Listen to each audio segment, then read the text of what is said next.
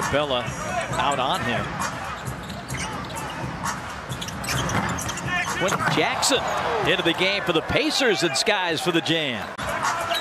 Bufkin slated to back up Trey at the point. Substitution pattern tonight but straight up. Jackson. Uh, Jackson ended up getting a gift. Ball fell right in his lap.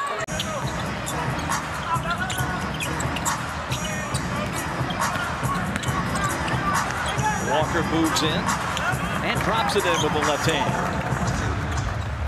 Since they, when they brought it back. Yes. Shot from the wing is good. Body out front, guarding Mathurin. Cross court, Jackson hikes up a three and hits it.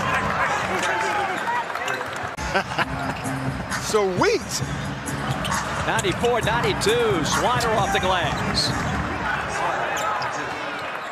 Welcome to Atlanta, sir. 114, 111.